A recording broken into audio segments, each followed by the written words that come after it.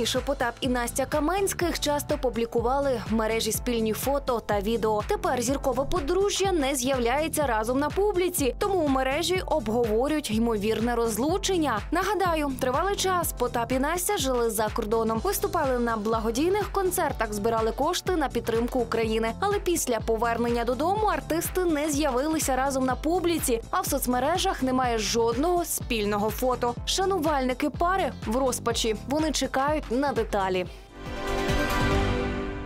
Всі обговорюють фото Володимира Остапчука, на якому він вперше засвітився без обручки. Здавалося, що окреме життя та поріз Христини за кордон достатні підстави, аби повірити в розлучення зіркового подружжя. Але фанати не полишали надії. Та днями Остапчук розбив їхні сподівання остаточно. Володимир опублікував серію фото з поїздки з культурним десантом Андрієм Бідніковим, Колею Сергою та репером Ярмаком. І на одному з кадрів добре видно, що Володимир перестав носити обручку. Залишилось зрозуміти, яка ж кішка пробігла між такими щасливими раніше знаменитостями.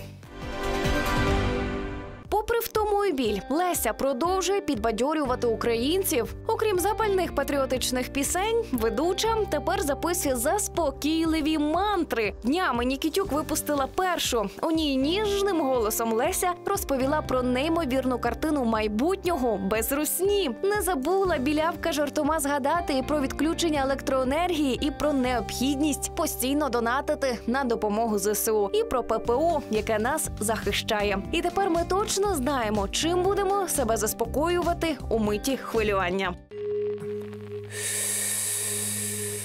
Я закриваю очі, входжу в стан рівноваги, входжу спокійно, так само спокійно, як ЗСУ війшли у Херсон.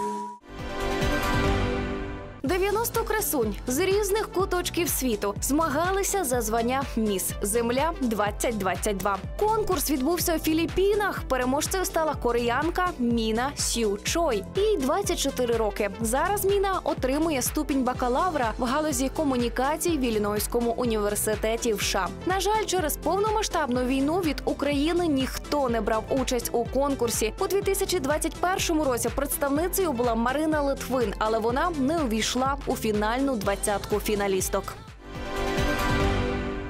Сайт CelebTattler назвав найпопулярнішу знаменитість 2022 року за Google запитами. Нею стала Ембер Герд, колишня дружина Джонні Деппа, яка знімалася в фільмі Аквамен. Ембер обігнала більше 150 інших відомих особистостей. Зірка, яка отримала звання найпопулярнішої, навряд чи рада такому статусу, бо в її випадку піар не пішов на користь. Усі ми пам'ятаємо, як гучно сварилися Джон та Ембер. Що далі буде робити артистка, та як продовжуватиме кар'єру, поки не зрозуміло.